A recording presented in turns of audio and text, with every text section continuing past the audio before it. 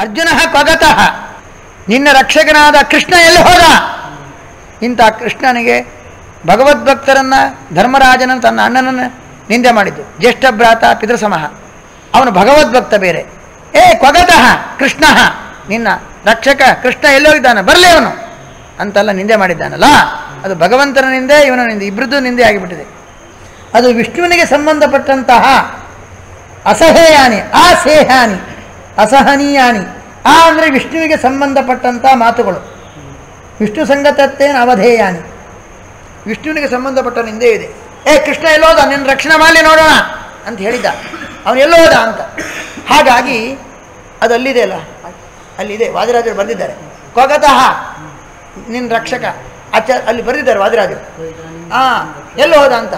ನಿನ್ನ ರಕ್ಷಕ ಎಲ್ಲೂ ಬಿದ್ದೆ ಎಲ್ಲೂ ಇದ್ದಾನೆ ಅವನು. ರಕ್ಷಣೆ ಮಾಡು, ಬರಲಿ ನೋಡಿ, ಎಲ್ಲೋದ ಅವನು. ಇದೆಲ್ಲ ಕೃಷ್ಣನಿಗೆ ಅಪಮಾನ. ಧರ್ಮರಾಜನಿಗೆ ಅಪಮಾನ. ಇದು ಹರಿನಿಂದ ಆಯಿತು. ಅಂತ ಹರಿನಿಂದ ಮಾಡಿದ್ದಕ್ಕೋಸ್ಕರ ಅವ್ರು ಏನು ಮಾಡಿದ್ರು ಅಂದರೆ ಅವರನ್ನು ಪ್ರತಿಜ್ಞೆ ಇದೆ. ಏನು ಪ್ರತಿಜ್ಞೆ? ಯಾರು ಭಗವಂತನ ನಿಂದೆಯನ್ನು, ಅದು ನನ್ನ ಕಣ್ಣು ಮುಂದೆ ಮಾಡಬೇಕಾಗಿಲ್ಲ, ಹಿಂಬದಿಯಿಂದ ಮಾಡಿದರೂ ಕೂಡ ಅವರ ನಾಲಿಗೆ ಹಿಡ್ಕೊಂಡ್ಬಿಟ್ಟು, ಕತ್ತರಿಸಿ ಹಾಕ್ತೇನೆ. ಈ ರೀತಿಯಾಗಿ ಭೀಮಸೇನನ ಮಹಾಪ್ರತಿಜ್ಞೆ ಇದೆ. ಅದಕ್ಕೋಸ್ಕರ ಇವನೇನು ಮಾಡಿದ್ರು ಅಂದರೆ ಹಲ್, ಆ ನಾಲಿಗೆಯನ್ನು ಕತ್ತರಿಸ್ಲಿಕ್ಕೋಸ್ಕರ ಸನ್ನದ್ಧರಾಗಿಬಿಟ್ರು. ಆಗ ನಾಲಿಗೆ ಕತ್ತರಿಸಲಿಕ್ಕೆ ಸನ್ನದ್ಧರಾದಾಗ, ಆಯಾಂತಂ ಅತಿಕ್ರಮ್ ಅಂತಿಕಂ ಅಮಂ ಪ್ರಥಮಿಕ್ಷ ಶಲ್ಯೋ ನೇತ್ಯಾಹ ಹೇತಿ ಬಿರಹೋ ನಮೃಷಾಮೃತ ಮೃತ ಪ್ರತಿಜ್ಞಾ ಕಾರ್ಯ ತ್ವಯೈವ ಪುರುಹೂತ ಸುತಸ್ಯ ಜಿಹ್ವಾ ಮಾತೇನ ಪಾತಯ ಮರುಸುತ ಸೂತ ಸುನೋ. ಏ ನಾಲಿಗೆ ಕತ್ತರಿಸಲಿಕ್ಕೆ ಬಂದಿದ್ದಾಗ ಶಲ್ಯ ಹೇಳ್ತಾ ಇದ್ದಾನೆ ಭೀಮಸೇನನಿಗೆ ಈ ಕೆಲಸ ಮಾಡಬೇಡಪ್ಪ. ಯಾಕೆಂದರೆ ನಮೃಷಾ ಮೃಷಾ ಪ್ರತಿಜ್ಞಾ ಕಾರ್ಯ ತ್ವಯೈವ ನೀನೇ ಅವನಿಗೆ ಬೆಂಬಲ ಕೊಟ್ಟು ಅವನ ಕೈಯಿಂದ ಪ್ರತಿಜ್ಞೆ ಮಾಡಿಸಿದ್ಯಾ? ಕರ್ಣನನ್ನು ಅರ್ಜುನ ಕೊಲ್ತಾನೆ ಅಂತ. ನಿನ್ನ ತಮ್ಮನ ಪ್ರತಿಜ್ಞೆಯನ್ನು ನೀನೇ ಅವನ ಅನುಮೋದನೆ ಮೇರೆಗೆ ಅವನ ಪ್ರತಿಜ್ಞೆ ಮಾಡಿದ್ದ? ನೀನೇ ಆ ಪ್ರತಿಜ್ಞೆ ನಿನ್ನ ತಮ್ಮನ ಪ್ರತಿಜ್ಞೆನ ಭಗ್ನಗೊಳಿಸಿದರೆ ಸರಿಯಾ? ಸಪೋರ್ಟ್ ಮಾಡಬೇಕು, ಅದು ಸಫಲ ಆಗುವಂತೆ ಮಾಡಬೇಕೇ ವಿನಃ ವಿಫಲಗೊಳಿಸೋದ ನೀನು ಕೊಂದರೆ ನಾಲ್ಗೆ ಕತ್ತರಿಸಿದರೆ ಅರ್ಜುನನಿಗೆ ಅರ್ಜುನ ಪ್ರತಿಜ್ಞೆ ಭಂಗ ಆಗಿಬಿಡುತ್ತೆ. ಅಯ್ಯೋ ನಾಲಿಗೆ ಕತ್ತರಿಸಿಕೊಂಡು ನಾನು ಅವನು ನಾಲಿಗೆ ಮಾತ್ರ ಕತ್ತರಿಸಿದಲ್ಲ. ಪ್ರಾಣ ತೆಗಿಲಿಲ್ಲಲ್ಲ. ಪ್ರಾಣ ತೆಗೆಯೋ ಕೆಲಸ ನನ್ನದು ಅಂತ ಹೇಳಿಬಿಟ್ರೆ, ಅದಕ್ಕೆ ವಾದಿರಾಜರು ಹೇಳ್ತಾರೆ, ಅವನು ಯಾವಾಗ ನಾಲಿಗೆ ಕತ್ತರಿಸಿಬಿಟ್ಟ ನಂತರ ಅವನು ಬದುಕುತ್ತಾನ? ಅವನು ಬದುಕುತ್ತಾನ್ರಿ ಕರ್ಣ ಏನಾಗ್ತಾನೆ? ಸತ್ಯ ಸತ್ಯ ಹೋಗ್ತಾನೆ. ಅವನು ಬದುಕುವುದಿಲ್ಲ ಮರ್ಯಾದೆ ಹೋಯ್ತವನು. ಮರ್ಯಾದೆ ನಂತರ ಬದುಕಲಿಕ್ಕೆ ಇಚ್ಛೆ ಪಡ್ತಾನ? ಬದುಕುವುದಿಲ್ಲ ಒಂದು ಪಕ್ಷಕ್ಕೆ ಜೀವಂತವಾಗಿ ಬದುಕದಂತೆ ಇಟ್ಕೊಳ್ಳೋಣ. ಅವನು ಅಪಮಾನದಿಂದ ಅವನು ಬದುಕುವುದಿಲ್ಲ ಅವನು. ಸತ್ತೋಗ್ತಾನೆ. ಹಾಗಾದ್ರೆ ಯಾರ ಪ್ರತಿಜ್ಞೆ ಭಂಗ ಆಯ್ತು ಇವಾಗ? ಹಾಂ. ಒಂದು ಪಕ್ಷ ಜೀವಂತವಾಗಿದ್ದೇನಂತ ಇಟ್ಕೊಳ್ಳೋಣ ಅಂಗವಿಕಲನನ್ನು ಛೇದನ ಮಾಡಿದರೆ ಸರಿ ಹೋಗುತ್ತಾ? ಅವನ ಸಂಹಾರ ಮಾಡಿದರೆ. ಅಂಗವಿಕಲ ಅವನು. ಅವನ ಸಂಹಾರ ಮಾಡೋದು ರಾಜರಿಗೆ ಶೋಭಿಸುವುದೂ ಇಲ್ಲ. ಅಂತೂ ಇಂತೂ ಪ್ರತಿಜ್ಞೆ ಭಂಗ ಆಗುತ್ತೆ. ಅವನು ಬದುಕಿದ್ರೂ ಪ್ರತಿಜ್ಞೆ ಭಂಗ, ಸತ್ರೂ ಪ್ರತಿಜ್ಞೆ ಭಂಗ ಆಗುತ್ತೆ. ಯಾಕೆ? ಬದುಕಿದ್ರು ಕೂಡ ಅವನ ಅಂಗಚ್ಛೇದ ಅಂಗವಿಕಲನ್ನು ಸಂಹಾರ ಮಾಡಬಾರ್ದು. ಚೆನ್ನಾಗಿರೋದಿಲ್ಲ ಅದು. ಅದು ಶೋಭಿಸುವಂಥದ್ದಲ್ಲ ಕೊಲ್ಲು ಆಗಿಲ್ಲ ಅವಾಗ, ಹೇಸಿಗೆ. ಅರ್ಥ ಆಯ್ತಾ? ಕೊಂದರೂ ಕಷ್ಟ, ಕೊಲ್ದಿದ್ರು ಕಷ್ಟ. ಅವನು ಬದುಕಿದ್ರು ಕಷ್ಟ ಬದುಕಿದ್ರು ಕಷ್ಟ. ಅದಕ್ಕಿಂತ ಕೆಲಸ ಮಾಡ್ಲಿಕ್ಕೆ ಹೋಗಬೇಡ ಅಂತ ಹೇಳಿದ್ರಂತೆ. ಇತ್ಯುಕ್ತ ಪ್ರಮುಖ, ಏಕೆಂದರೆ ಅನೇಕ ಕಾರಣ ಈ ಪ್ರತಿಜ್ಞೆ ಮಾಡಿದ್ದೆ. ಅದಕ್ಕೋಸ್ಕರ ಹೀಗೆ. ಭೀಮಸೇನ ಮಹಾಬಾಹೋ. ಯತ್ ಎಂತಾಂ ವಕ್ಷಾಮಿ ತಕ್ಷಣೋ ವಚನಂ ಹೇತು ಸಂಪನ್ನ. ಶುತ್ವಾಚಯಿತ ತಥಾ ಕುರು. ಅರ್ಜುನೇನ ಪ್ರತಿಜ್ಞಾತೋ ವಧ ಕರ್ಣಸ್ಯ ಸುಷ್ಮಿಣಃ ತಾಂ ತಥಾ ಕುರು ಭದ್ರಂತೆ. ಪ್ರತಿಜ್ಞಾ ಸವ್ಯಸಾಚಿನಃ. ಅಂತ ಹೇಳ್ತಾ ಇದ್ದಾನೆ. ಹಾಂ. ಈ ರೀತಿಯಾಗಿ ಹೇಳಿದಾಗ, ಆ, ಅವರು ಹೊರಟ ಇತ್ಯುಕ್ತ ಪ್ರಮುಖ ತಸ್ಯ ರಥೇನೇ ಇವ ಮಹಾ ಮದ್ರ ಮದ್ರ ವಿಕರ್ತನಂ ಅಪೋಹ. ಕೊನೆಗೆ ಕರ್ಣನ, ಆ ಭೀಮಸೇನದ ಎದುರಿಂದ ರಥವನ್ನು ಬೇರೆ ಕರ್ಕ ಕರ್ಕೊಂಡು ಹೋಗಿಬಿಟ್ಟಂತೆ. ಯಾರು?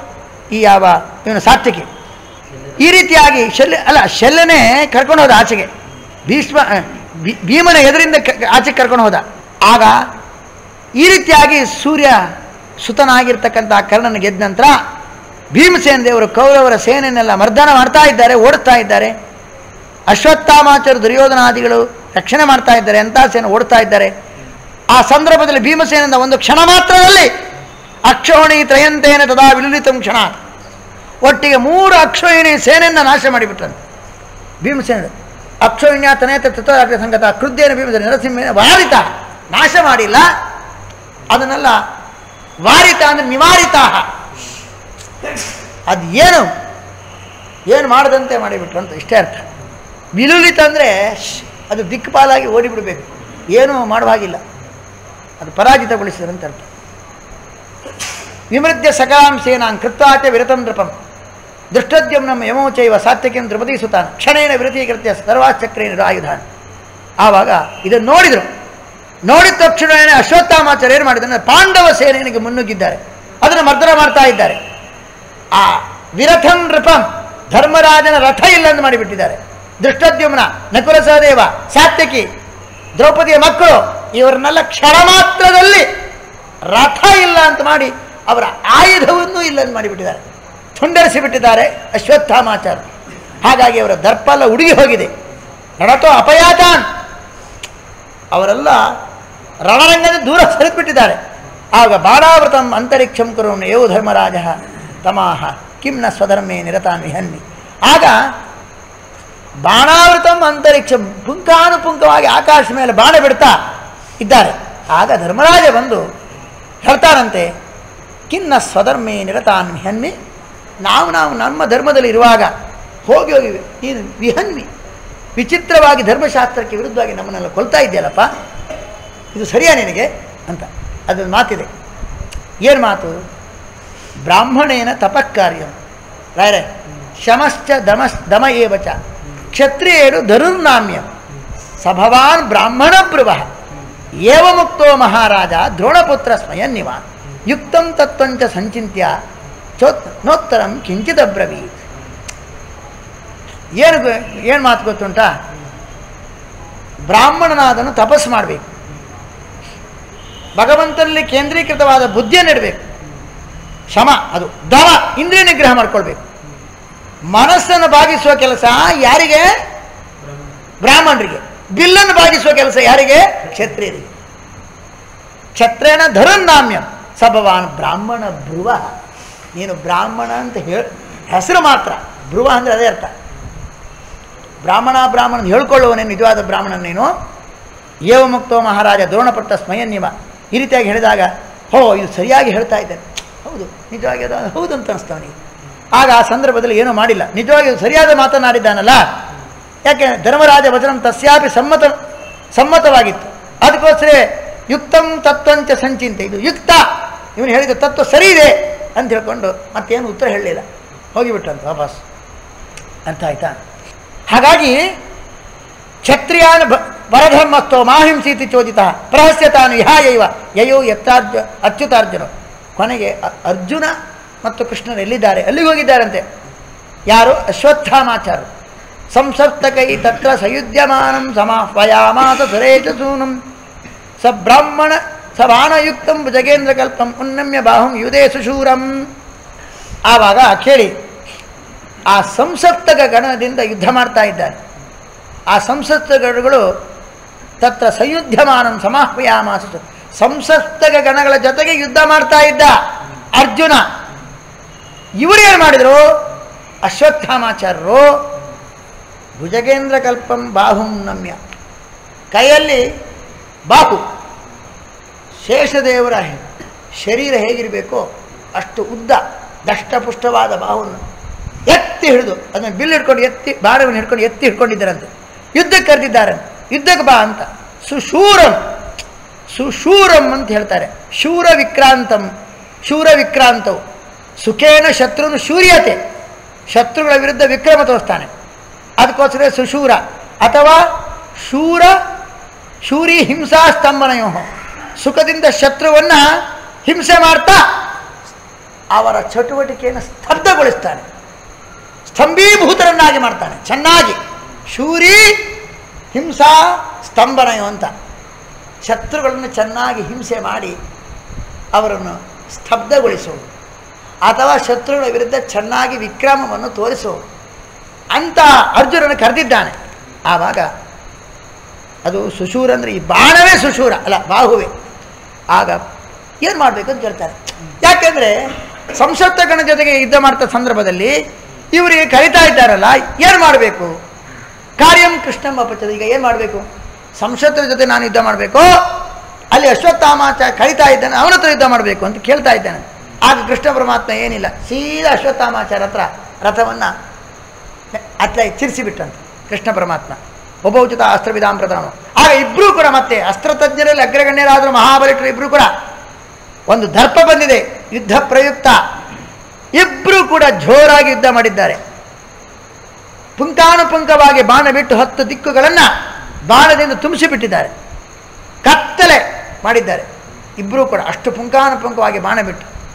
ಆವಾಗ ದ್ರೋಣಾ ಅಶ್ವತ್ಥಾಮಾಚರು ಒಂದು ವಿಚಿತ್ರವಾದಂತಹ ಬಾಣವನ್ನು ಸೃಷ್ಟಿ ಮಾಡಿ ಅರ್ಜುನನ ಶರಪಂಜರೇ ಬಂಧನ ಮಾಡಿಬಿಟ್ರಂತೆ.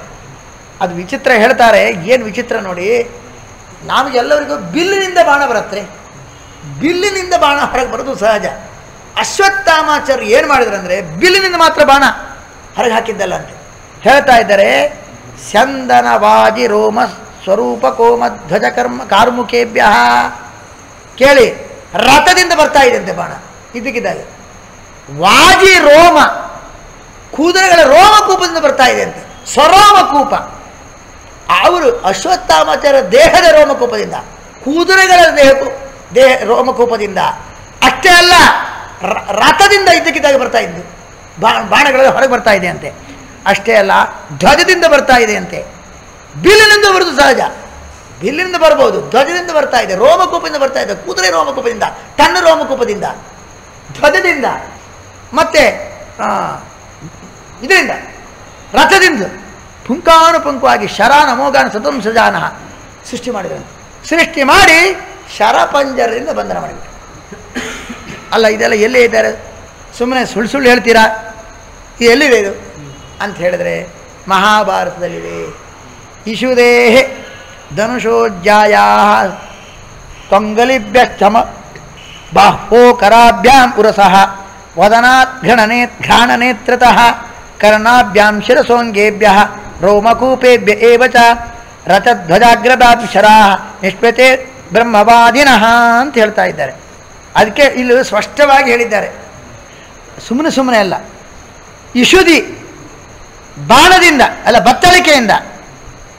ಧನುಷಃ, ಜ, ಧನುಷು ಬಿಲ್ಲಿನಿಂದ, ಬಿಲ್ಲಿನ ಹಗ್ಗದಿಂದ ಅಂಗುಲಿ ಬಿಚ್ಚ ಬೆರಳಿನಿಂದ, ಬಾಹೋಹೋ, ಬಾಹುವಿನಿಂದ, ಕರಾಭ್ಯಾಂ, ಕೈಯಿಂದ, ಉರಸ ವಕ್ಷಸ್ಥಳದಿಂದ ವದನಾಥ್ ಬಾಯಿಂದ ಘಾಣ ಏನು? ಮೂಗಿನಿಂದ, ನೇತ್ರತಃ, ಕಣ್ಣಿನಿಂದ, ಕರ್ಣಾಭ್ಯಾಂ, ಕಿವಿಯಿಂದ, ಶಿರಸಃ ತಲೆಯಿಂದ ಹಂಗೆ ಬೆ- ಬೇರೆ ಎಲ್ಲ ಎಲ್ಲ ಶರೀರ ಅವಯವದಿಂದ ರೋಮಕೂಪೆ ಬೇಜ. ತನ್ನ ರೋಮಕೂಪದಿಂದ, ರಥಧ್ವಜದಿಂದ, ರಥದಿಂದ ಧ್ವಜದಿಂದ, ಎಲ್ಲ ಬಾಣ ಹೊರಗೆ ಬಂದ ಸಿಕ್ಕಾಪಟ್ಟೆ ಬಾಣ ಬಿಟ್ಬಿಟ್ಟೆ ಹೊರಗಡೆ ಇದ್ದಕ್ಕಿದ್ದಾಗೆ ಹತ್ತಿರದು ಅದು ಮಂತ್ರದ ಪ್ರಭಾವದಿಂದ ಹಾಗೆ ರೀತಿಯಾಗಿ ಸೃಷ್ಟಿ ಮಾಡುವ ಶಕ್ತಿ ಇದೆ ಅವರಿಗೆ. ಎಲ್ಲ ಕಡೆಯಿಂದ ಬಾಣ ಬಿಟ್ಬಿಟ್ಟಿದೆ. ಆ ಬಾಣ ಬಿಟ್ಟಾಗ ಇವನು ಏನು ರೀ ಬಿಟ್ಟರೆ ಎರಡು ಕೈಯಿಂದ ಬಿಡಬೇಕಷ್ಟೇ. ಇಲ್ಲೆಲ್ಲ ಹೀಗೆ ಸೃಷ್ಟಿ ಮಾಡಿಬಿಟ್ರೆ ಏನು ಮಾಡಬೇಕು? ಏನು ಮಾಡಲಿಕ್ಕಾಗಿಲ್ಲ. ಶರಪಂದನ ಬಂಧನ ಮಾಡಿಬಿಟ್ರಂತೆ. ಆವಾಗ ಭೀಮಸ ಈ ರೀತಿಯಾಗಿ ಪರಿಸ್ಥಿತಿ ಬಂದಾಗ, ತಸ್ಮಿನ್ ನಿಬದ್ಧೆ ಹರಿ ತಪ್ರಮೇಯ ವಿಬೋಧಯಾಮಾಸ ಸುರೇಂದ್ರ ಸೂನಂ ಆಲಿಂಗನೇನಾಸ್ಯ ತದೌ ಬರಂಚ ಸ ಉತ್ಥಿತೋಸ್ತ್ರಾಣಿ ಅಮುಚನ್ ಮಹಾಂತಿ. ಏನಾಯಿತು ಗೊತ್ತುಂಟಾ? ಆಗ ಶ್ರೀಕೃಷ್ಣ ಪರಮಾತ್ಮ ಅವನಿಗೆ ಒಳ್ಳೆ, ಅವನು ಗೆಲ್ಲಬೇಕು ಎಂಬ ದೃಷ್ಟಿಯಿಂದ ಅವನನ್ನು ಜಾಗೃತಗೊಳಿಸಿದ್ದಾನೆ. ಅರ್ಜುನನನ್ನು. ಗುರು, ಏನು ಮಾಡಿದ್ರು ಗೊತ್ತುಂಟಾ? ಇದ್ದಕ್ಕಿದ್ದಾಗಿ ಶ್ರೀಕೃಷ್ಣ ಪರಮಾತ್ಮ ಆ ಶರಪಂಜನ ಬಂಧನದಿಂದಾಗಿದೆ ಆಲಿಂಗನೆ ಮಾಡ್ಕೊಂಡ್ಬಿಟ್ಟನು. ಕೃಷ್ಣ ಪರಮಾತ್ಮ ಆಲಿಂಗನೆ ಮಾಡ್ಕೊಂಡ್ಬಿಟ್ಟ. ಆಗ ಇದ್ದಕ್ಕಿದ್ದಾಗೆ ಸಿಕ್ಕಾಪಟ್ಟೆ ಅವನಿಗೆ ಬಲ ಜಾಗೃತವಾಗಿದೆ. ಅಷ್ಟೇ ಅಲ್ಲ, ಯಾವಾಗ ಆಲಿಂಗನ ಮಾಡಿಕೊಂಡ ಬಾಣಗಳೆಲ್ಲ ಮೈಗೆ ಚುಚ್ಚಿದೆಲ್ಲ ಹೊರಗೆ ಬಂದ್ಬಿಡ್ತಾನೆ ಅಸ್ತ್ರಾಣಿ. ಎಲ್ಲ ಕೆಳಗೆ ಬಿಚ್ಚಿ ಹೋಯ್ತಂತೆ ಎಲ್ಲ. ಬಾಣದಿಂದ ಮುಕ್ತನಾಗಿಬಿಟ್ಟ. ಬಾಣ ಸಿಕ್ಕಾಪಟ್ಟು ಬಿಟ್ಟಿದ್ನಲ್ಲ ಅದು ಅದರಿಂದ ಮುಕ್ತನಾಗಿಬಿಟ್ಟ. ಅದರಲ್ಲಿ ಬಿಟ್ಟು ಹೋದವಂತೆ ಬಾಣಗಳೆಲ್ಲ. ನಿವಾರ್ಯ ತಾನಸ್ತ್ರ ಬರೈ ಗುರೋ ಸುತಃ. ಚಿಚ್ಚೇದ ಜಾನ್ ಯುದಿ ಗಾಂಡವಸ್ಯ. ಆಗ ಅವನೇನು ಮಾಡಿದ? ನಿವಾರ್ಯ ತಾನೇ ಅಸ್ತ್ರ ಬರೈಹಿ ಗುರೋ ಸುತಃ. ಅವನು ಬಿಟ್ಟ. ಅವನು ಬಾ, ಶರಪಂಜರ ಬಂಧನದಿಂದ ಒಳಗ, ಹೊರಗೆ ಬಂದ ನಂತರ ಅಸ್ತ್ರವನ್ನು ಬಿಟ್ಟಿದ್ದಾನೆ. ಅಶ್ವತ್ಥಾಮಾಚಾರ ಮೇಲೆ. ಅಸ್ತ್ರ ಬಿಟ್ಟಾಗ ಇವನ ಅಸ್ತ್ರದಿಂದ ಅದನ್ನೆಲ್ಲ ಭೀಷ್ಮಾಚಾರ ಇದು ಆ, ತೆರೆದಿದ್ದಾರೆ. ಅಷ್ಟೇ ಅಲ್ಲ ಅವನ ಗಾಂಧೀವ ಧನುಸ್ಸಿನ ಜಾ ಹಗ್ಗ ಇತ್ತಲ್ಲ ಅದನ್ನು ಚಿಚ್ಛೇದ ಅಂತುಂಟು ಛೇದನ ಮಾಡಿದ ಅಂತ. ಛೇದನ ಮಾಡಿದಾಗ ಏನಾಯ್ತು ಅಂದರೆ ವವರ್ಷ ಭಾರತಂಚ ಸರೈ ಸಿಕ್ಕಾಪಟೆ ಬಾಣದಿಂದ ಬಾಣದ ಮಳೆಯನ್ನು ಸುರಿಸ್ತಾ ಇದ್ದಾನೆ ಅರ್ಜುನನ ಮೇಲೆ. ಆಗ ಏನಾಯ್ತು ಅಂದರೆ ಅತಾನ್ಯ ಜಾಸೀತ್ ಕತ್ತರಿಸಿದಾಗ ಇನ್ನೊಂದು ಹುಟ್ಕೊಳ್ತು ಜಾ ಆಸೀತ್. ಅದು ಜಾ ಆಸೀತುಂಟು. ಅಲ್ಲಿ ಅದು ವಿಲಕ್ಷಣ ಜ, ಅನ್ಯ ಅಂದರೆ ವಿಲಕ್ಷಣ. ಅದು ಮತ್ತೆ ಪ್ರಾದುರ್ಭೂತ ಆಯಿತು. ಮತ್ತೆ ಅದು ಕತ್ತರಿಸಿ, ದಿವ್ಯ ಅದು ಜ. ಅದು ಅಚ್ಛೇದ್ಯ ಭೇದ್ಯ ಅಂತ ಹೇಳಿಬಿಟ್ಟಿದ್ದಾರೆ. ಕಟ್ಟಾಗಿ ಕಾಣ್ತು ಮತ್ತೆ ಜ ಅನ್ಯಾಜ ಆಸಿ ವಿಲಕ್ಷಣ. ಜ ಪ್ರಾದುರ್ಭೂತ ಆಯಿತು. ತಯಾ ಗಾಂಡಿವನ್ ಸೋಪೆ ಅಂತ ಮತ್ತೆ ಏನು ಮಾಡಿದ? ಅದನ್ನು ಕಟ್ಟಿದ. ಜ ಆಸೀತ್ ಅಂದರೆ ಅದು ಕತ್ತರಿಸಿ ಹೋಯಿತು, ಮತ್ತೊಂದು ಹುಡ್ಕೊಳ್ತು ಅಂತ ಅರ್ಥ ಮಾಡಬಾರ್ದು. ಅರ್ಥ ಆಯ್ತಾ? ಅದು ಅಭೆ ಅಚ್ಛೇದ್ಯ ಅಭೇದ್ಯವಾದಿಂದಾಗಿ ಹೇಗೆ ಈಗ ಲತೆಯನ್ನು ಛೇದನ ಮಾಡಿದರೆ ಅದು ಮತ್ತೇನು ಹುಡ್ಕೊಳ್ತದೋ ಇಲ್ಲ ಅದೇ ಮತ್ತೆ ಅಂಕುರಿತವಾಗತ್ತೆ. ಅದೇ ರೀತಿಯಾಗಿ ಅಥಾನ್ಯಾಜ್ಯ ಆಸೀತ್ ಎಂಬುದಕ್ಕೆ ಅರ್ಥ ಏನಂದರೆ ಮೊದಲು ಛೇದ ಆಗಿತ್ತು, ಈಗ ಛೇದಾದನ್ಯ ಅಭವತ್ ಅಚ್ಛಿನ್ನ ಅಭವತ್ ಅಚ್ಛಿನ್ನವಾಗಿ ಮತ್ತೂರ ಅಂಕುರಿತವಾಯ್ತಂತೆ. ಅದೇನು, ಅದು ಛೇದ ಆದಂತೆ ಆಯಿತು. ಆದರೆ ಅದೇ ಏನಾಯ್ತು, ಪುನಃ ಚಿನ್ನಾದನ್ಯ ಅಚ್ಛಿನ್ನ ಭವತ್ತು ಛೇದ ಮಾಡಿದಂತೆ ಆದರೆ ಅದು ಅಚ್ಛಿನ್ನವಾಗಿ ಮೇಲಕ್ಕೆ ಬಂತು. ಅನ್ಯಾಯ ಎಂಬುದಕ್ಕೆ ಏನರ್ಥ ವಿಲಕ್ಷಣ ಜಾ ಆಸೀತ್. ವಿಲಕ್ಷಣ ಅಂತ ಅರ್ಥ. ಯಾವುದೇ ಆಗಲಿ, ಜಾ ಕತ್ತರಿಸಿದ್ರೆ ಮತ್ತೆ ಅಂಕುರಿತವಾಗೋದಿಲ್ಲ ಇದು ಅನ್ಯ, ವಿಲಕ್ಷಣ ಇತ್ಯರ್ಥ. ಅನ್ಯ ಎಂಬುದಕ್ಕೆ ವಿಲಕ್ಷಣ ಅಂತ ಅರ್ಥ. ಯಾವುದೇ ಒಂದು ಬಿಲ್ಲಿನಲ್ಲಿ ಜಾ ಅಂದರೆ ಹಗ್ಗವನ್ನು ಕತ್ತರಿಸಿದರೆ ಅದು ಮತ್ತೆ ಚಿಗುರುಕೊಳ್ಳುವುದಿಲ್ಲ. ಚಿಗುರುಕೊಳ್ಳುತ್ತಾ? ಚಿಗುರುಕೊಳ್ಳಲ್ಲ. ಆದರೆ ಇದು ಅನ್ಯ, ಎರಡರ್ಥ. ಅನ್ಯ ಅಂದರೆ ವಿಲಕ್ಷಣ ಅಂತ ಅರ್ಥ ಇದೆ. ಅನ್ಯ. ಬೇರೆ ಯಾವುದು ಹಗ್ಗವನ್ನು ಕತ್ತರಿಸಿದ್ರು ಕೂಡ ಅದು ಚಿಗುರುಕೊಳ್ಳುವುದಿಲ್ಲ. ಆದರೆ ಇದು ಅನ್ಯ, ವಿಲಕ್ಷಣ. ಸ್ವರೂಪ ಭೇದೆ ಸ್ವಾತಂತ್ರ್ಯ, ವಿರೋಧೇ ಚ ವಿಲಕ್ಷಣೆ. ಅನ್ಯ ಶಬ್ದ ಚತುರ್ಶೇಷು ಪ್ರಯೋಕ್ತವ್ಯೋ ಮನೀಷಿಭಿ. ಅನ್ಯ ಅಂದರೆ ವಿಲಕ್ಷಣ. ಏನ್ರಿ? ಯಾವ ಬಿಲ್ಲಿನ ಹಗ್ಗ ಕತ್ತರಿಸಿದರೂ ಕೂಡ ಮತ್ತದು ಅಂಕುರಿತವಾಗುವುದಿಲ್ಲ, ಮತ್ತೆ ಅಂಕುರಿತವಾಗುವುದಿಲ್ಲ, ಮತ್ತೆ ಹುಟ್ಟಿ ಬರುವುದಿಲ್ಲ. ಇದು ಚಿಗುರುತು. ಹಾಗಾಗಿ ಇದು ಲೋಕ, ಎಲ್ಲ ಬಿಲಿನ ಹಗ್ಗಕ್ಕಿಂತ ವಿಲಕ್ಷಣವಾಗಿದೆ. ಅದಕ್ಕೆ ಜಾ, ಅನ್ಯ ಜಾ, ಲೋಕ ವಿಲಕ್ಷಣ ಜಾ, ಸಾ, ಪುನಃ ಅಂಕುರಿತವಾಯಿತು. ಮತ್ತೆ ಚಿಗುರುಕೊಂಡ್ಬಿಡ್ತಂತೆ ಅದನ್ನು ಮತ್ತೆ ಸಂಯೋಜನೆ ಮಾಡಿದ. ಅಂತ ಹೀಗೆ ಅರ್ಥ ಮಾಡಿ ಅಚ್ಛಿನ್ನ ಅನ್ಯಾಜ್ಯ ಚಿದಾದನ್ಯ. ಮೊದಲು ಚಿನ್ನ ಆಗಿದ್ದು ಕಾಣುತ್ತೆ ಮತ್ತು ಅನ್ಯ ಅಭವತ್ ಅಚ್ಛಿನ್ನ ಅಭವತ್, ಅಥವಾ ಅನ್ಯ. ಅನ್ಯದ ಲೋಕ ವಿಲಕ್ಷಣವಾದ ಹಗ್ಗದು. ಮತ್ತೆ ಚಿಗುರುಕೊಂಡ್ಬಿಡ್ತು. ಅಂತ ಹಾಗೆ ಅರ್ಥ ಮಾಡಬೇಕೇನೋ ಅದು ಛೇದ ಆಯಿತು ಅಂತ ಹಾಗೆ ಅರ್ಥ ಮಾಡಬಾರ್ದು. ಮತ್ತೆ ಹುಟ್ಕೊಂಡು ಹೊಸತ್ತಾಗಿ ಹುಟ್ಟಿತು ಅಂತ ಅರ್ಥ ಮಾಡಬಾರ್ದು. ಅದು ಅಚ್ಛೇದ್ಯ ಅಭೇದ್ಯವಾದದ್ದು. ಆವಾಗ ಅದನ್ನು ಸಂಯೋಜನೆ ಮಾಡಿದ. ಸಂಯೋಜನೆ, ತದ ಶರಣ ಕುಪಿತ ಶಿತೇನ. ಅದಕ್ಕೇನು ಮಾಡಿದೆ ಅಂದರೆ, ನಿಶಿತವಾದ ಬಾಣದಿಂದ ಅಶ್ವತ್ಥಾಮಾಚಾರ ಸಾರಥ್ಯನ ಕತ್ತರಿಸಿ ಹಾಕಿದ್ದಾನೆ, ತಲೆ ಕತ್ತರಿಸಿ ಹಾಕಿದ್ದಾನೆ. ಆಗ ಸ್ವಯಂ ಸಾರಥ್ಯ ಮಾಡಿದ್ದಾರೆ. ಯಾರು? ಆ ಅಶ್ವತ್ಥಾಮಾಚಾರ್ಯರು. ಸಿಕ್ಕಾಪಟ್ಟೆ ಶರನ್ ವಿಸರ್ಜದಾತೇನ ಸಾರಥ್ಯವೇ ಗುರುಬತ ಪುಂಕಾನುಪುಂಕವಾಗಿ ಬಾಣ ಬಿಡ್ತಾ ಇದ್ದಾರೆ, ಸಾರಥ್ಯವನ್ನು ಮಾಡ್ತಾ ಇದ್ದಾರೆ. ಮತ್ತೆ ಯಥಾ ಪ್ರಕಾರವಾಗಿ ಶರಪಂಜರದಿಂದ ಬಂಧನ ಮಾಡಿಬಿಟ್ಟಿದ್ದಾನೆ. ಅಶ್ವತ್ಥಾಮಾಚಾರ್ಯರು ಬಂಧನ ಮಾಡಿದ್ದಾರೆ ಅರ್ಜುನನನ್ನ. ಮತ್ತೆ ಕೃಷ್ಣ ಪರಮಾತ್ಮ ಆಲಿಂಗನ ಮಾಡಿದ. ಆಲಿಂಗನ ಮಾಡಿಕೊಂಡು ಕೃಷ್ಣ ತಂ ಅಧಾ ಶತ್ರು ವಿಘಾತ ಕಂಬಲಂ ಅಸ್ಮಿನ್ ಕೊನೆಗೆ ಶತ್ರು ವಿಘಾತಕವಾದಂತಹ ಬಲವನ್ನು ಆಲಿಂಗನ ಮಾಡುವ ಮೂಲಕ ಅಲ್ಲಿ ಆಧಾರ, ಅಲ್ಲಿ ಅದನ್ನು ಇಟ್ಟಿ ಅವನಲ್ಲಿ ಅದನ್ನು ತುಂಬಿಸಿದ್ದಾನೆ. ಮತ್ತೆ ಬಿಲ್ಲುಬಾಣ ತೊಟ್ಟು ಮತ್ತೆ ಎದ್ದಿದ್ದಾನೆ ಅರ್ಜುನ. ವವ್ರಜಚರಾನ್ ಭೂಯ ದ್ರೋಣ ಪುತ್ರೆ ಹರಿಮರ್ದನ ಭಗವಂತ ಎರಡು ಸತಿ ಆಲಿಂಗನ ಮಾಡ್ಕೊಂಡ್ಬಿಟ್ಟು ಬಲ ತುಂಬಿಸಿದ್ದಾನೆ. ಶತ್ರು ವಿಘಾತಕವಾದಂಥ ಬಲವನ್ನು ಅವನು ನೀಟ್ಟಿದ್ದಾನೆ ಕೃಷ್ಣ ಪರಮಾತ್ಮ. ಅದಕ್ಕೋಸ್ಕರ ಎದ್ದು ಬಂದಿದ್ದಾನೆ. ಎದ್ದು ಬಂದು ಆಗಿ ಬಾಣ ಬಿಟ್ಟಿದ್ದಾನೆ. ಆವಾಗ ಪುನಸ್ತಸ್ಯ ನನೋದ ದ್ರೋಣಿ ಬಂಧಾಯ್ ಸಂದಾಯತಾಂ ಪುನಃ. ಮತ್ತೇನು ಮಾಡಿದ? ನುನೋದ. ಹಿಂದಿನಂತೆ ಮತ್ತೆ ಕತ್ತರಿಸಿದ. ಅದು ಪುನಃ ಏನಾಯಿತು? ಚಿಗುರುಕೊಳ್ತು ಕತ್ತರಿಸಿದ ಮತ್ತೆ ಚಿಗುರುಕೊಳ್ಳುತ್ತೆ ಅದು ವಿಲಕ್ಷಣ. ಕತ್ತರಿಸಿದ್ದು ಹೌದು, ಮತ್ತೆ ಚಿಗುರಿಸ್ಕೊಳ್ತು ಎಂದು ಚಿಗುರುಕೊಳ್ಳದಂತೆ ಮಾಡಲಿಕ್ಕಾಗಿಲ್ಲ. ಆ ಜಾಯಂ ನಿರುಪಯುಕ್ತವಾಗಿ ಮಾಡಲಿಕ್ಕಾಗಿಲ್ಲ. ಜಾ ಕತ್ತರಿಸ್ಲಿಕ್ಕೆ ಆಗೋದಿಲ್ಲ ಅಂದರೆ ಅದೇ ಅರ್ಥ. ಅದು ನಿರುಪಯುಕ್ತವಾಗಿ ಛೇದನ ಅರ್ಹ ಅಲ್ಲ. ಮತ್ತೆ ಪುನಃ ಚಿಗುರುಕೊಳ್ಳುತ್ತೆ ಉಪಯೋಗ ಬಾರದಂತೆ ಅದನ್ನು ಕತ್ತರಿಸ್ಲಿಕ್ಕೆ ಆಗೋದೇ ಇಲ್ಲ ಅಂತ ಅರ್ಥ. ಹಾಗಿಟ್ಕೊಳ್ಬೋದು. ಆವಾಗ ಏನಾಯಿತು? ಇಷ್ಟು ಜೋರಾಗಿ ಸಂಧಾನ ಮಾಡಿ ಬಿಲ್ಲನ್ನು ಕತ್ತರಿಸಿದಾಗ ಹಗ್ಗವನ್ನು ಮತ್ತೆ ಸಂಧಾನ ಮಾಡಿ ಬಿಟ್ಟಿದ್ದಾನೆ ಆವಾಗ ಪಾರ್ಥೋ ದ್ರೋಣ ಸುತ ಶಾಶ್ವ ರಶ್ಮಿನ್ ಚಿಚ್ಛೇದ ಸಹಾಯಕೈ ಅಶ್ವತ್ಥಾಮಾಚಾರ್ಯ ಕುದುರೆಗಳ ಇದನ್ನೇನು ಮಾಡಿದ ಹಗ್ಗವನ್ನು ಕತ್ತರಿಸಿದ. ಅವುಗಳೆಲ್ಲ ಓಡಿ ಹೋಗಿಬಿಟ್ಟು ಕಂಟ್ರೋಲ್ ಇಲ್ಲ. ಎಲ್ಲ ಓಡಿ ಹೋಗಿಬಿಟ್ಟಿದ್ದಾವಂತೆ. ಸಿಕ್ಕಾಪಟ್ಟೆ ಬಾಣ ಬಿಟ್ಟಿದ್ದಾನೆ. ಓಡ್ತಾ ಇದ್ದೇವೆ ಕುದುರೆಗಳೆಲ್ಲ. ಅಪೋರ್ ದೂರಮೇ ತಸ್ಮಾ ಸೋಪಿ ಸಂಸ್ಥಾಪಿತಾನ್ ಪುನಃ. ಅವುಗಳು ಸೂರ್ಯ ಎದ್ಕೊಂಡು ಹೋಗಿದ್ದಾವೆ, ಎಲ್ಲೋ ಎಳ್ಕೊಂಡು ಹೋಗಿ ಅಂತೆ ದ್ರೋಣಾಚಾರ್ಯರನ್ನ, ಅಲ್ಲ ಅಶ್ವತ್ಥಾಮಾಚಾರ್ಯನ ಕೊನೆಗೆ ವಿಚಾರ ಮಾಡಿದ್ರಂತೆ, ಆ ಕುದುರೆಗಳು ಓಡ್ತಾ ನಿಲ್ಲಿಸಿ ವಿಚಾರ ಮಾಡಿದ್ರಂತೆ. ನೈ ತಸ್ಮಾದ್ ಅಧಿಕಂ ಶಕ್ಯತೆ ಅರ್ಜುನೇ. ನನಗೆ ಇದಕ್ಕಿಂತ ಅಧಿಕವಾಗಿ ಅರ್ಜುನನಿಗೆ ಅರ್ಜುನ ಹತ್ರ ನನಗೆ ಯುದ್ಧ ಮಾಡಲಿಕ್ಕಾಗೋದಿಲ್ಲ ಯಾಕೆ ಅಂತ ಹೇಳಿದ್ರೆ, ಅವನು ಬಹಳ ಪ್ರಬಲನಾಗಿದ್ದಾನೆ. ಸಾರಥಿತ್ವಾತ್ ಕೇಶವಸ್ಯ. ಕೃಷ್ಣ ಪರಮಾತ್ಮನೇ ಸಾರಥಿಯಾಗಿ ಬಿಟ್ಟಿದ್ದಾನೆ ಅಷ್ಟೇ ಅಲ್ಲ ಜಗಸ್ತತ್ವಾದ ಹನುಮತ ಹನುಮಂತಾಚಾರ್ಯ ಮೇಲೆ ಕುತ್ಕೊಂಡ್ಬಿಟ್ಟಿದ್ದಾರೆ. ವಿಜಯ ವಿಜಯ ಪ್ರಧಾನ ಮಾಡ್ತಾರೆ. ಹನುಮಂತ ದೇವರು ಮೇಲಿದ್ದಾರೆ ಕೆಳಗಡೆ ಹರಿಯಿದ್ದಾರೆ ಹರಿವಾಯುಗಳಿದ್ದಾರೆ, ಪ್ರಬಲರು. ಆ ರಥದಲ್ಲಿ ಏನು ಸೊಬಗು ನೋಡಿ. ಹರಿ ಕುತ್ಕೊಂಡಿದ್ದಾನೆ ಕೆಳಗಡೆ, ಮೇಲ್ಗಡೆ ಹರಿ, ಹರೀಶ. ಹರೀಶ್ ಅಂದರೆ ಕಪೀಶ್. ಯಾರು?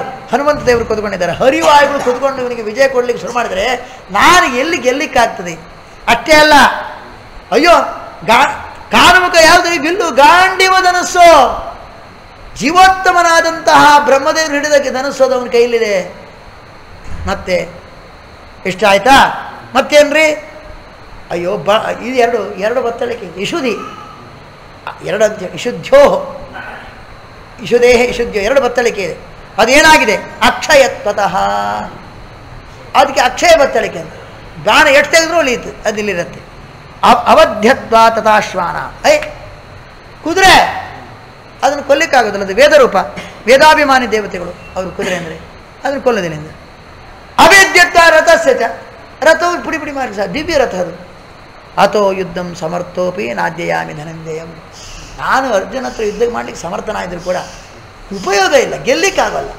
ಯಾಕೆಂದರೆ ಅಷ್ಟೆಲ್ಲ ಸಲಕರಣೆ ಅವನಿಗಿದೆ. ಏವಂ ಮತ್ತ ಪ್ರವೇಶ ಸೇನಾಂ ಪಾಂಡವ ಸುಧಾನ ಅತತಂ ಸಮರ್ಪಯಾತ್. ಪಾಂಡ್ಯ ಅದನ್ನ ಮಟ್ಟ ಸೇನೆ ಬಿಟ್ಬಿಟ್ಟ. ಅರ್ಜುನ ಹತ್ರ ಯುದ್ಧ ಮಾಡೋದು ಬಿಟ್ಬಿಟ್ರು. ಅಶ್ವತ್ಥಾಮಾಚಾರ್ಯರು. ಕೊನೆಗೆ ಪಾಂಡವ ಸೇನೆ ಜೊತೆಗೆ ಪಾಂಡವ ಸುತಾನ ಪಾಂಡವರ ಸೇನೆಗೆ ಒಳಗೆ ಪ್ರವೇಶ ಮಾಡಿದ್ದಾರೆ.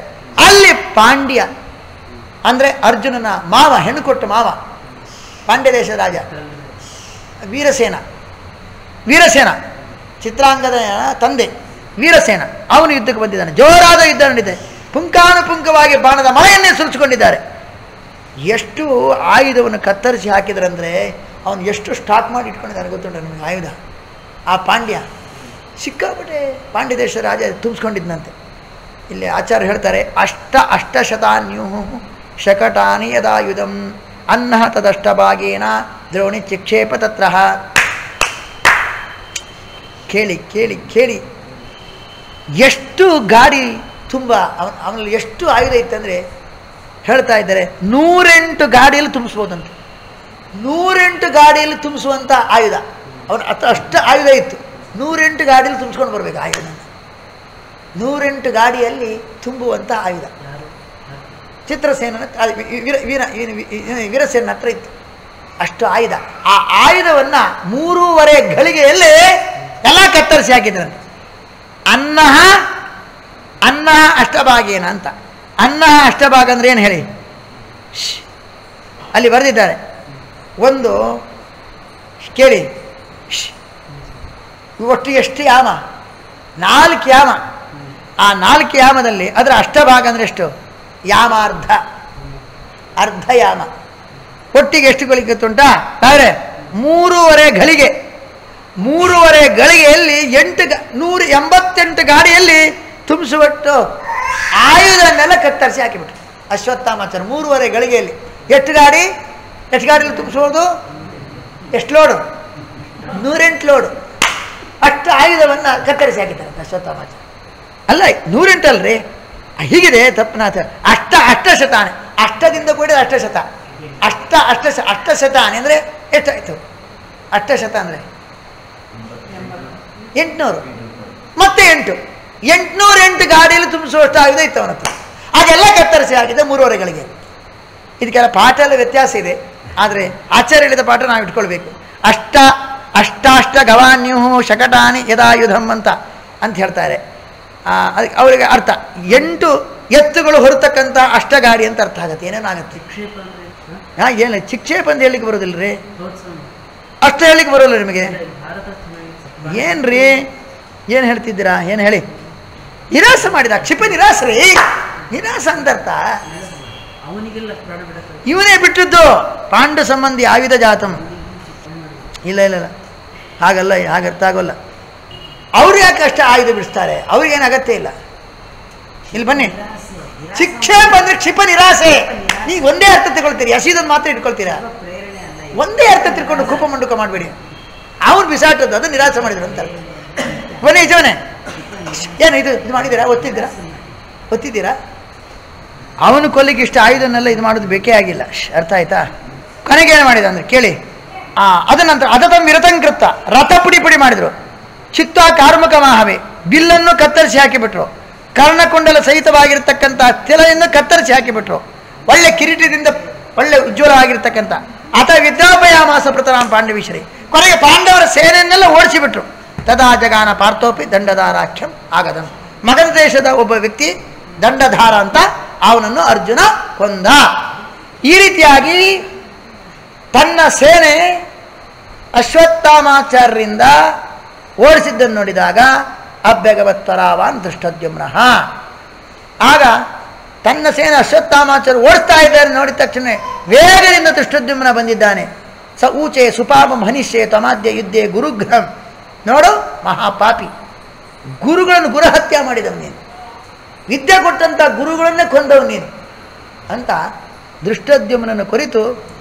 ಯಾರು ಹೇಳಿದ್ದಾರೆ ದೃಷ್ಟದ್ಯುಮ್ನ ತಮ್ಮ ಮೂಚೆ ಸುಪಾಪ ಮನುಷ್ಯೆ. ತಾಮಧ್ಯ ಇದ್ದೇ ಗುರು ಇತ್ಯುಕ್ತ ದರ್ಶಯಾಮಚ ಪಾರ್ಶ್ವದ ಖಡ್ಗಮತ್ತನು.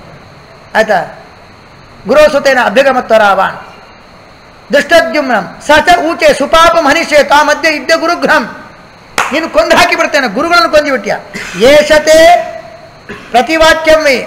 ಹಸಿರ್ ದಾಸ್ಯತಿ ಮಾಮಕಃ, ಏನ ಕೃತ್ತಂ ತವ ಪಿತು, ಯತಮಾನಸ್ಯ ತಚ್ಛಿರಃ ಅಂತ ಈ ರೀತಿಯಾಗಿ ಕೋಲ್ತೇನೆಂದು ಬಂದಿದ್ದಾರೆ.